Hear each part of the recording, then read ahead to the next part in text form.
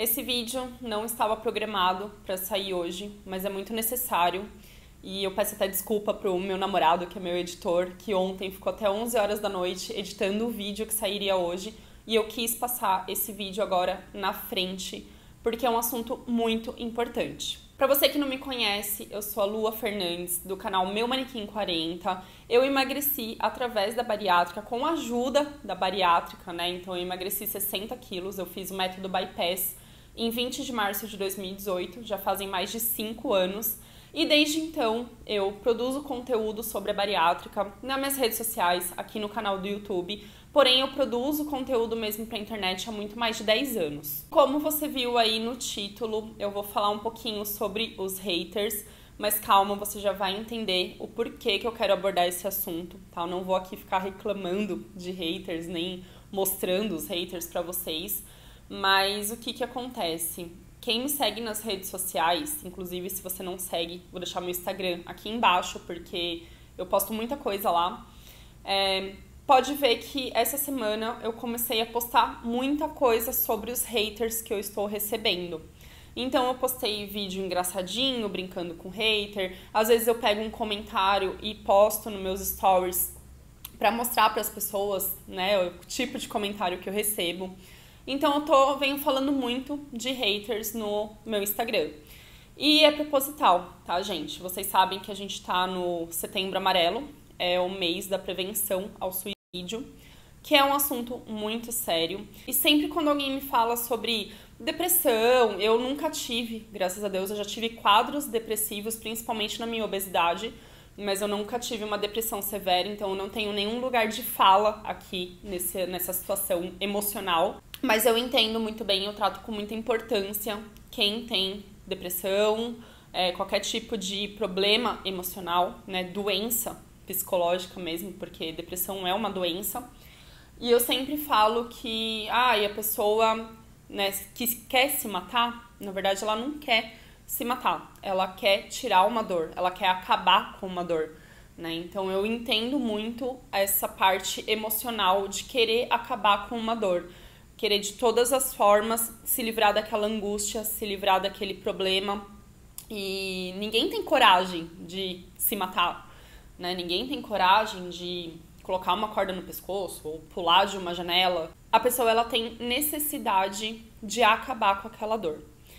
E por que, que eu tô falando tudo isso? Porque domingo agora, eu fico até arrepiada. Domingo agora a gente perdeu uma das nossas, que é a influenciadora, que é a Drica, o blog da Drica. Ela produzia conteúdo há mais de 10 anos, assim como eu. Então eu sempre ouvi, não seguia muito, tá? Não era uma fã dela, mas eu sempre ouvi falar dela. E eu vou até ler aqui pra vocês, tá? Só pra vocês entenderem o que eu tô falando. Algumas chamadas que eu pesquisei no Google e apareceram. Influenciadora Adriana Thyssen morre aos 49 anos em Uberlândia. Morre Adriana Thyssen, influenciadora que perdeu 35 quilos com mudança de hábitos. Adriana Thyssen, influencer que venceu obesidade em 2013, morre aos 49 anos. É, nenhum lugar fala exatamente, mas eu fiquei sabendo que ela se enforcou. E eu, assim, me identifico muito com a Adriana, com a história da Adriana, porque eu produzo conteúdo há 10 anos, assim como ela, e sempre falando de emagrecimento, sempre falando de um corpo saudável e sempre recebendo críticas. Então, a Adriana, obviamente, ela teve esse. Ela venceu essa obesidade. E em 10 anos, gente, acontece muita coisa. Então, sim, ela teve reganho, ela engordou um pouquinho, ela voltava aos trilhos, ela acabava engordando de novo. É muito tempo, muita coisa que acontece nesses 10 anos. Ninguém é equilibrado emocionalmente todos os dias 100% do tempo por 10 anos. Eu mesma, ao longo desses 10 anos, eu engordei e emagreci três vezes.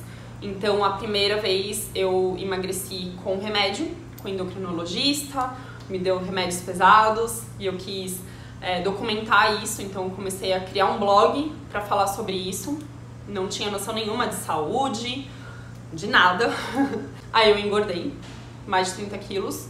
A segunda vez eu fiz dieta com um nutricionista, é, atividade física, foi meio que no modo natural ali, né, que eu emagreci. É, foi nessa hora que eu explodi, porque eu comecei a patinar e ninguém sabia muito bem o que, que era patinação. E eu comecei a falar sobre isso e o quanto que eu emagreci com a patinação. É, essa foi a segunda vez, muita gente me acompanha desde essa época. E engordei depois mais de 60 quilos. E foi a terceira vez que eu emagreci, que foi com a bariátrica, que é essa que vocês me acompanham. E ela recebia muitos comentários de haters, né? E coisa que eu recebo também, todo dia. Todo dia. Todo dia alguém me desmerece, é, desmerece meu esforço, minha determinação.